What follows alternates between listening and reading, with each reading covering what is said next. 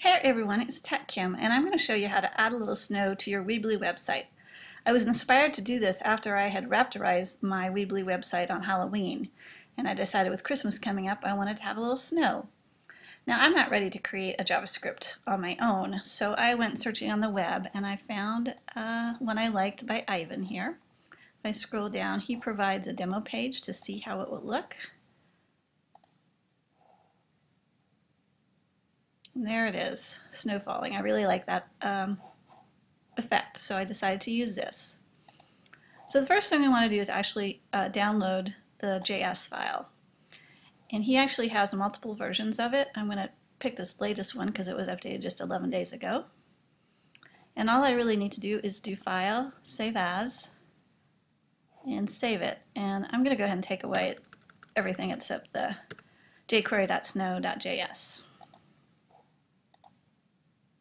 So now I've saved it locally, I need to get it on my Weebly server. Now I always have a test site that I can test things like this on. So I'm going to go to Design and Edit HTML CSS. And this is how I can add more files. I'm going to click Add File and upload the jquery.snow.js. You'll see there it is now. Now I still don't have any snow because I haven't called it.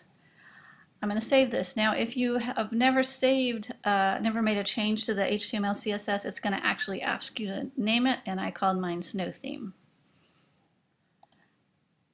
So the next thing we need to do is actually uh, call the jQuery. So I'm going to copy this code. And there's two ways you can do this in Weebly. If you want the snow to appear on every page, you're going to go to Settings, Search Engine Optimization, and you're going to copy and paste this code under header code. Now I only want this snow to appear on the home page, so instead I'm going to go to Pages and then Advanced Settings, and I'm going to copy this page into my header code. Oops, paste. Uh, I need to make one more change. Um, in Weebly, when you upload files, you have to give a path to them, and it turns out they're at whatever the website is called, slash files, slash theme. So I'm going to copy this and add it right after the quotation mark.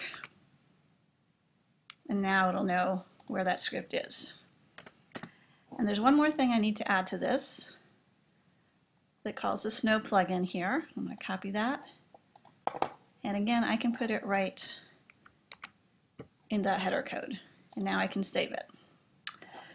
So as you'll see, here's my website um, without the snow. I haven't published it, republished it yet. So let's publish it and fingers crossed. We will have snow. There it is. Great. Well, I hope you enjoy this and I'd love to hear what kind of uh, fun things you add to your websites. Good luck and happy holidays.